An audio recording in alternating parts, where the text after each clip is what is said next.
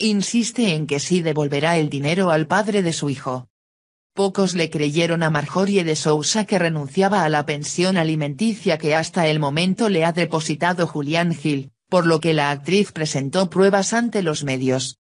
Fue el 19 de enero cuando se confirmó que el pequeño sí es hijo de Gil, así que Marjorie salió en Telemundo a decir que renunciaba a todo el dinero y que ella se haría cargo de todo.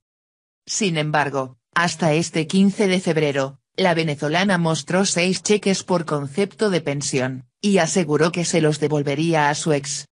Públicamente delante del notario quiero que quede claro que aquí están los cheques, los billetes de depósito que nunca fueron cobrados como se dijo por la otra parte. Se explicó que solo los primeros dos cheques se cobraron, pero ese dinero se devolverá. La pensión es irrenunciable, lo que está regresando es para que el señor haga un fideicomiso, en favor de Mati. Los demás que vaya depositando no los vamos a recoger, explicó la abogada de Marjorie.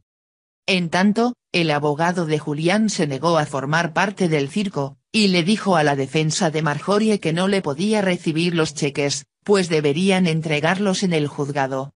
A mí no me pueden entregar un cheque en la calle, si pueden hacer una manifestación, que lo hagan, pero en el juzgado, no en una esquina de una calle, dijo el abogado de Julián.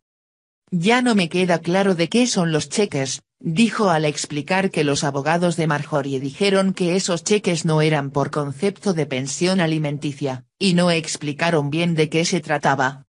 Si te gustó el video, dale me gusta y comparte. No olvides suscribirte.